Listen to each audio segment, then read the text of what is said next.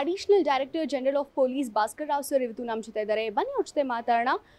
Sir, ಇವಾಗ night curfew ಈಗ ಇನ್ನೇನು ಜಾರಿಗೆ ಬಂದಿದೆ? ರಾತ್ರಿ ಹತ್ತು ಗಂಟೆಯಿಂದ ಬೆಳಿಗ್ಗೆ ಐದು ಗಂಟೆವರೆಗೆ. ಸೊ ಇದ್ರ ಬಗ್ಗೆ ನಿಮ್ಮ ಒಂದು ಅಭಿಪ್ರಾಯ ಏನು? ನೋಡಿ, ಏನೇ ಕ್ರಮ ತೊಗೊಂಡ್ರೂ ಸುಮ್ಮನೆ ಜನ ಕ್ರಿಟಿಸೈಸ್ ಮಾಡ್ತಾರೆ. ಈಗ ಸದ್ಯ ಏರ್ತಾ ಇರೋ ಸಂಖ್ಯೆ ನೋಡಿದ್ರೆ ಸರ್ಕಾರ ಏನೋ ಕ್ರಮ ತೊಗೋಬೇಕಲ್ಲ? ಕ್ರಮ ತೊಗೊಂಡಿದೆ ಸರ್ಕಾರ, ಜನ ಸಹಕರಿಸಬೇಕು.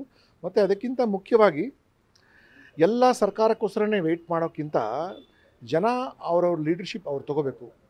ಈಗಾಗಲೇ ಹೇಳಿದೆ ಅಪಾರ್ಟ್ಮೆಂಟ್ನವ್ರ ಲೀಡರ್ಶಿಪ್ ತೊಗೋಬೇಕು ಮಾಲ್ನ ಲೀಡರ್ಶಿಪ್ ತೊಗೋಬೇಕು, ವರ್ತಕ ಮಂಡಳಿ ಮತ್ತು ಮಾರ್ಕೆಟ್ ಪ್ಲೇಸಸ್ನ ಲೀಡರ್ಶಿಪ್ ತೊಗೋಬೇಕು ಚೇಂಬರ್ ಆಫ್ ಕಾಮರ್ಸ್ ಲೀಡರ್ಶಿಪ್ ತೊಗೊಂಡು ಅವರ ಸದಸ್ಯರಿಗೆ ಸೂಚನೆ ನೀಡಬೇಕು.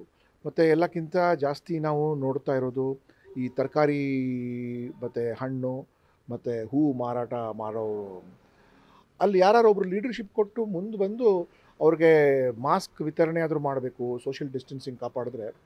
ಈ ಪ್ರತಿಯೊಂದು ಕೂಡ ನಾವು ಪೊಲೀಸ್ ಇಲಾಖೆಯಿಂದ ಮಾಡುವಂಥ ಸಾಧ್ಯ ಇಲ್ಲ.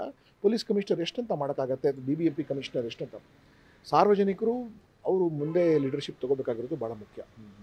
ಸೊ ಈಗಾಗಲೇ ಬಸ್ ಮುಷ್ಕರ ಆಗಿ ತುಂಬ ದಿನಾನೇ ಕಳೀತಾ ಬಂದಿದೆ. ಇಂಥ ಒಂದು ಸಮಯದಲ್ಲಿ ಸಾಮಾನ್ಯ ಜನರಿಗೆ ತುಂಬಾ ಕಷ್ಟ ಆಗ್ತಿದೆ. ಸೊ ಹಾಗೆ ನೀವು ಟ್ರೈನ್ಸ್ನ ಕೂಡ ಹೆಚ್ಚಳ ಮಾಡಿದ್ದೀರಾ? ಇದ್ರ ಬಗ್ಗೆ ನಿಮ್ಮ ಒಂದು ಅಭಿಪ್ರಾಯ ಏನು? ಈಗಾಗಲೇ ಬಸ್ ಮುಷ್ಕರ ಹಿನ್ನೆಲೆಯಲ್ಲಿ ಸೌತ್ ವೆಸ್ಟರ್ನ್ ರೈಲ್ವೇಸ್ನವರು ಹದಿನೆಂಟು ಹೊಸ ಟ್ರೈನ್ ಪ್ರಾರಂಭ ಮಾಡಿದ್ದಾರೆ.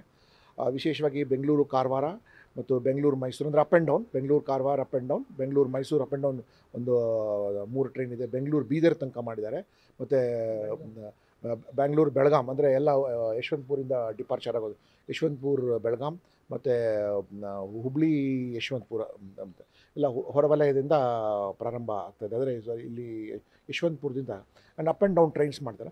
ಮತ್ತು ಇವರಿಗೆ ಎಲ್ಲ ಕಡೆ ಸ್ಟಾಪ್ ಇರೋದ್ರಿಂದ ರಾಜ್ಯದ ಈ ಮೂಲೆಯಿಂದ ಮೇಲುಗಡೆ ತನಕ ಹೋಗುವ ಅಂದರೆ ಇಟ್ ವಿಲ್ ಎಲ್ಲ ಕಡೆನೂ it will cater to the all the even Bengaluru Shivamogga and up and down ಕೂಡ ಪ್ರಾರಂಭ ಮಾಡಿದೆ. ಮತ್ತು south western railways is ready to start even more trains depending upon the requirement from ಏನಾದರೂ message ಸೂಚನೆ ಕೊಟ್ಟರೆ ಇನ್ನೂ ರೇಕ್ಸ್ ಆಗಿ ಮನೆ ತನ ಡಿ ಆರ್ ಎಂ ವರ್ಮಾ ಅವ್ರಿಗೆ ಭೇಟಿ ಮಾಡುವಾಗ ಅವ್ರು ಹೇಳಿದ್ರು ನಮ್ಮ ಹತ್ರ ಕೆಪಾಸಿಟಿ ಇದೆ. ಸೊ ಗೌರ್ಮೆಂಟ್ ಹೇಳಿದ್ರೆ ಎಕ್ಸ್ಟ್ರಾ ಟ್ರೈನ್ಸ್ ರನ್ ಮಾಡ್ತೀವಿ ಅಂತ. ಬಟ್ ಈಗ ಏನೋ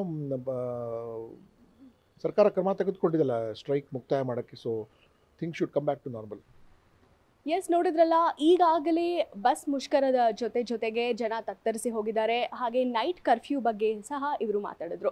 ಹೆಚ್ಚಿನ ಮಾಹಿತಿಗಾಗಿ ನೋಡ್ತಾ ಇರಿ ನ್ಯೂಸ್ ಇಂಡಿಯಾ